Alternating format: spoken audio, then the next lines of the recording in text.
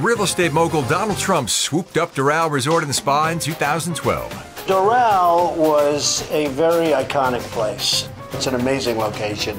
Then I have to make a decision. Do I do a little redo and spend not so much money, or do I spend $250 million and build all brand new courses, including the Blue Monster?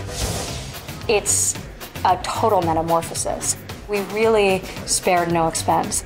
It's definitely no small feat, but we've all had a lot of fun doing it. Trump chose golf course architect Gil Hanse to renovate the Blue Monster, the same engineer behind the 2016 Summer Olympic Golf Course in Rio de Janeiro, Brazil.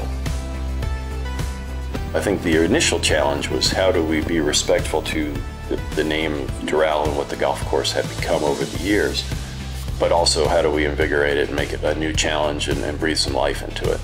People are surprised to realize that he's worked with Gil to position every palm tree out on that course, every bunker, every water feature.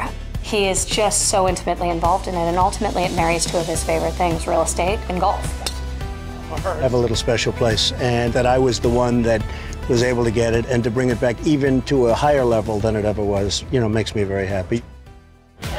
15 of the top 20 players in the FedEx Cup standings will embark on the revamped Blue Monster this week during the World Golf Championships Cadillac Championship. We have the top 70 players in the world. Every one of them has agreed to be here and wants to be here.